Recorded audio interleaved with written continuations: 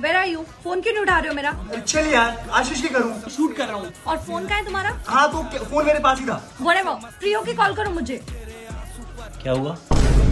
मेरा हस्बैंड ना कितना चीटर है। कह रहे आशीष के साथ। हद होती है आराम खोरी की यहाँ मतलब सारी लिमिट क्रॉस कर दी इसने।